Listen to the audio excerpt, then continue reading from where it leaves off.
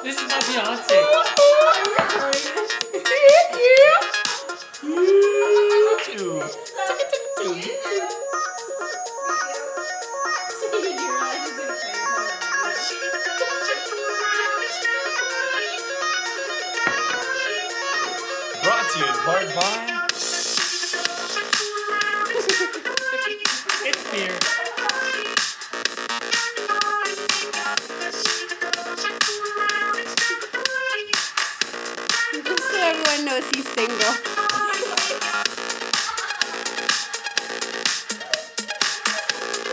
This is amazing. Let's. Oh. Uh. I think that.